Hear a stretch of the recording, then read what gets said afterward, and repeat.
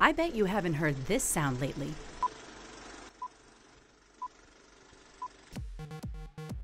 But if you have, then it's a reminder the past not only looked different, but it sounded different too. I don't mean the Duran Duran or the Flashdance soundtrack. I mean the sounds of technology we used to rely on. The idea that sounds can trigger the same sort of nostalgia we get from peering at faded Polaroids is part of what makes the Online Museum of Endangered Sounds a fascinating place to visit.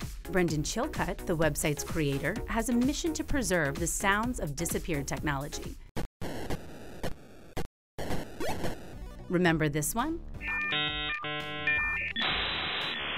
There was a time when that was the bane of everyone's existence, but now it's probably more apt as a ringtone for your mobile phone.